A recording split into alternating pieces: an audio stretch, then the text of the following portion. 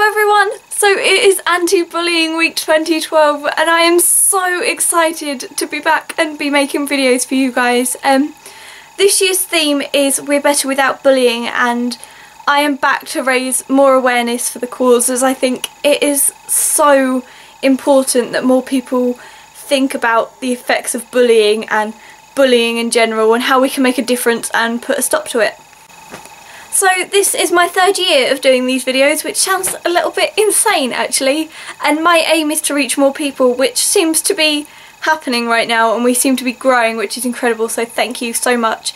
Um, over the past couple of years I have been given the most amazing opportunities because of these videos and it just it wouldn't have been possible without you guys so thank you so much. Um, last year I got to film a video with the director of Kidscape. Um, Kidscape is an anti-bullying charity preventing bullying in children and teenagers and I got to interview the director and she was incredible. She is so amazing and just spending time with their charity you just instantly feel better and it's amazing. They really brought me out of this sort of bubble that I seem to be stuck in. Um, I also got to film for Channel 4 and MTV International last year, which still, I still can't get my head around.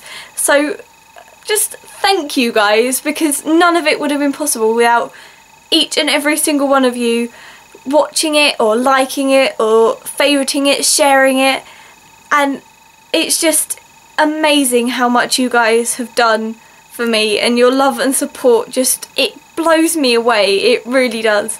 So thank you for everything. I really appreciate it and I love you all so much.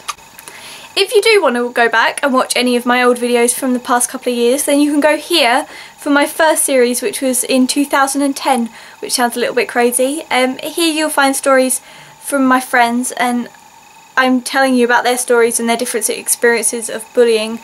Then you can click here for all of my videos from 2011. Um, this is where the interview from the director of Kidscape is and also a series of videos including stories from you guys which was amazing to film last year so thank you. Then lastly you can find all of this year's videos here and then you can watch them daily as they appear and I'll be sticking them in this playlist so you can just go back and watch them whenever.